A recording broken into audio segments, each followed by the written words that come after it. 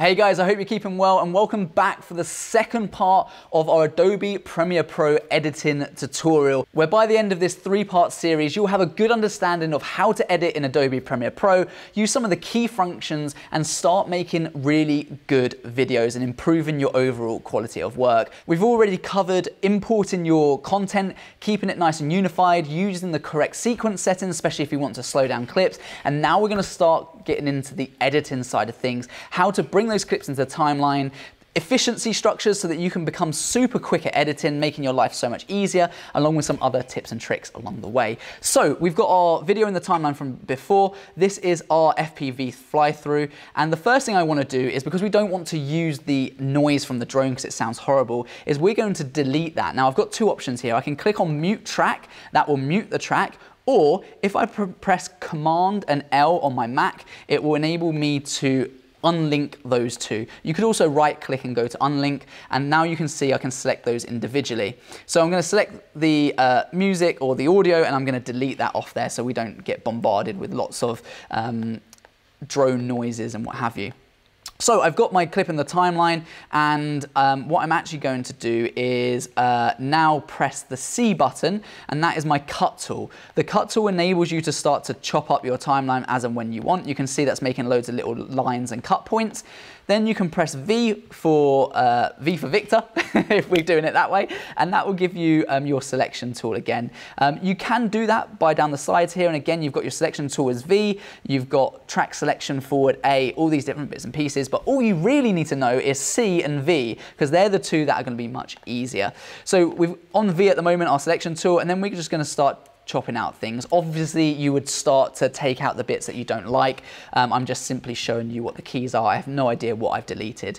If you want to then bring your timeline so it's all flush with each other, you can select it by clicking down, dragging, and moving them over.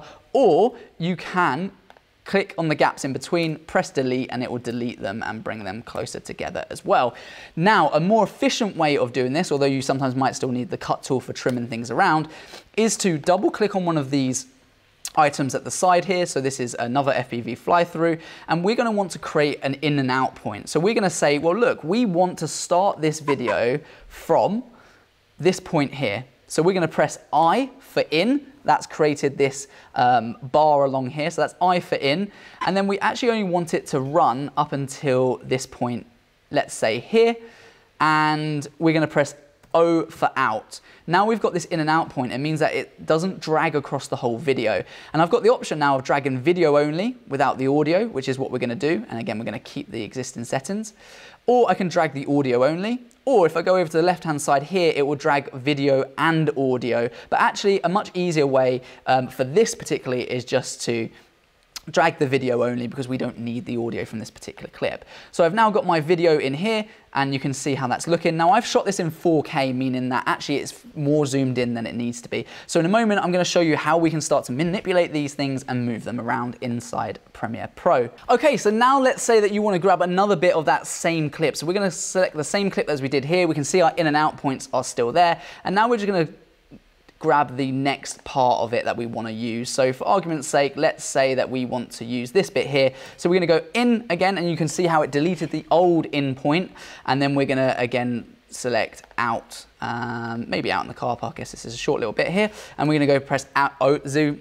We're going to press O for out again as well. Get my words out today. Um, again, we want audio only, so uh, sorry, video only, so we're going to bring that into the timeline. So now we're starting to compile our clips. I'm not gonna take you through this whole process because you just ultimately need to be super hard on yourself in order to get the best edit. So now we've got our clips in the timeline, we're gonna go over to the editing tab up the top here and you can see how it is slightly changed. That's because we've got our editing controls or our effect controls over on the left-hand side here. And this is where we're gonna do a lot of the magic stuff. So remember me saying before, I filmed this in 4K, but this is a 1080 timeline. So technically it zoomed in because the actual clip we shot is bigger than the timeline itself. So we're going to select the clip we want, this one here, and over towards our scale, we've got the option to zoom out. So you can see how that works here. Now remember, if you are filming in 1080p and you create a 4K timeline because you want 4K footage, that's not gonna work. You're gonna lose so much quality because if you can imagine, if I zoom this into 200 or 300%, the quality of the image starts looking horrible because it's blown up over big. It's too big. It's far too big for the timeline, okay? So you just need to be wary of the fact that if you're filming in 1080p, and you have a 1080p timeline, you can't really zoom in without losing quality. I've got the luxury of being able to shoot in 4K. This is a 1080 timeline, so I'm able to manipulate my footage a little bit more. So that's what we can do here. Now, keyframes is something that you really want to know.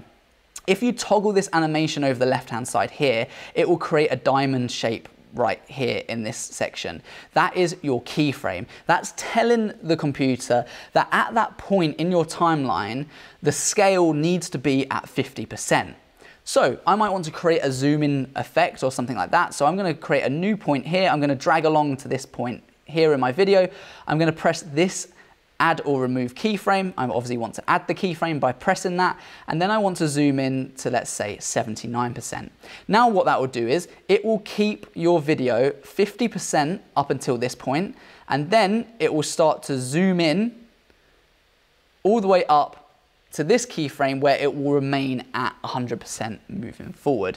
Obviously this is a move-in video so it becomes harder to actually see what's going on but if I had a static video, perhaps it's an interview and you film something on the tripod and you want to make it feel like there's some motion there, keyframes are a really effective way of doing that and making your video just seem that little bit more premium rather than just having a static angle the whole time.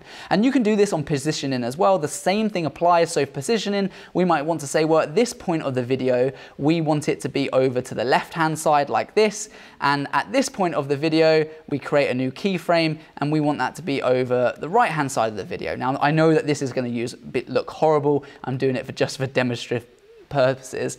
Um, if I roll through this, you can see how it's moving from left to right, okay? That's because the keyframes are enabling us to do that.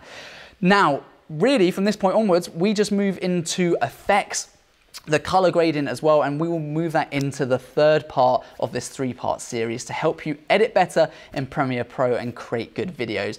There's just one very final tip that I'll give you before you leave and that is if you have a series of videos all cut up into your timeline and you think something's not working, ask yourself the question, where is your eye line? Because if your eye line is often changing from a focal point, let's say on the left hand side of the screen, and the next click the photo, uh, the video is, the focal point is on the right hand side of the screen, what that means is your eye has to jump from one side to the other. And as a result, often that's uncomfortable for the viewer. It, it doesn't leave them feeling nice. It's a subconscious thing to do with the rule of thirds. So you want to avoid that. So generally speaking, when you're filming and creating the content, and especially when you're editing it as well, you want to keep things quite close. Where is the focal point? Now, let's say for instance, this clip, the focal focal point was over on the left-hand side, it wouldn't work or would generally probably feel a little bit uneasy. So that's just a really good little tip that we're always thinking about here when we create content for our clients is if something doesn't work, does it work in the video? Does it add value? If the answer is yes, is there a different place that we can put that clip uh, that perhaps flows better, especially with eyeline and tracking? Of course, most things like an FPV fly through is quite nice because most things are straight in the middle of the screen, or at least on the middle third, so you can get away with almost cutting into anything. But it's just some tips that are worth going over with you guys, especially if you're starting out. So look, if you have enjoyed this video, please hit the like and subscribe button and join the community. Let me know in the comments if there's anything particularly that you would like me to go into more depth about and I'm more than happy to look into doing a video on that. And in part three of this three part series on how to get better at using Adobe Premiere Pro, we're gonna cover some effects, music, and color grading too. So until next time, peace.